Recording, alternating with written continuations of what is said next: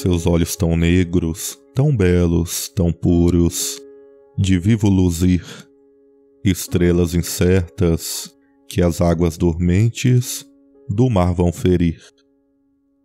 Seus olhos tão negros, tão belos, tão puros, têm meiga expressão, mais doce que a brisa, mais doce que o nauta, de noite cantando, mais doce que a frauta, quebrando a solidão.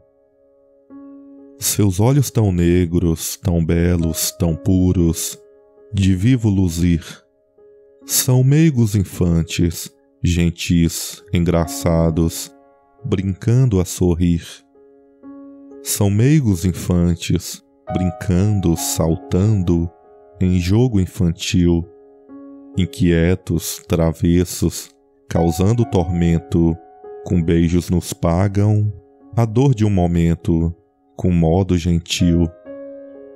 Seus olhos tão negros, tão belos, tão puros, assim é que são, às vezes luzindo, serenos, tranquilos, às vezes vulcão.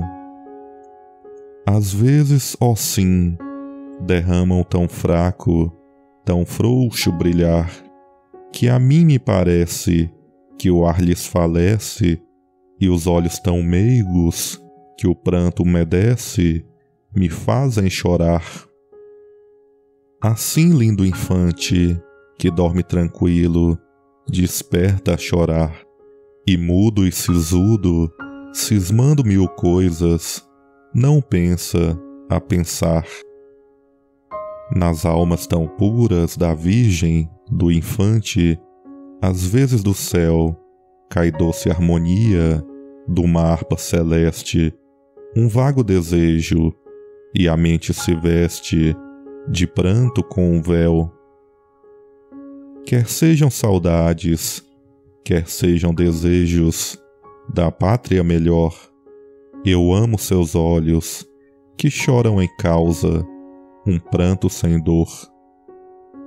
Eu amo seus olhos tão negros, tão puros, de vivo fulgor, seus olhos que exprimem tão doce harmonia, que falam de amores com tanta poesia, com tanto pudor.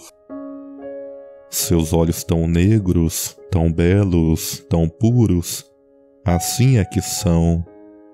Eu amo esses olhos que falam de amores com tanta paixão.